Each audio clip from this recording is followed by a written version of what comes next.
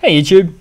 This video will show you guys how to move the Unity launcher bar in Ubuntu 16.4 and above down to the bottom. Now, uh, this is a relatively new feature. In fact, it wasn't even hard coded by uh, the Ubuntu Canonical team. It was it was coded by the the offshoot in uh, Ubuntu Kylin team, but it has been something that's been integra uh, integrated into the Ubuntu core now.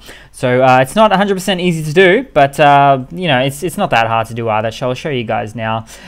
The information, hopefully, I remind myself. I'll put in the the link below. So, or should I just say the comments below, and uh, yeah, so you can just copy and paste from there. But I'll show you. So here we go. If I just jump up here, this is actually the command I used to drop it down to the bottom. So I might stretch that out a little bit. And you can see G settings set com.canonical.unity.launcher uh, launch position bottom. Now, if I want it to go to the left or right, I'll just type in left and that should move it across. The provided value is outside the valid range. Let's have a look if we can change that capital left. so it really is quite case sensitive. A little bit annoying, but I got it there in the end. That's fine. So there we go. So move it to the left. You've got the classic Ubuntu now, or the you know what we've seen for the last few years.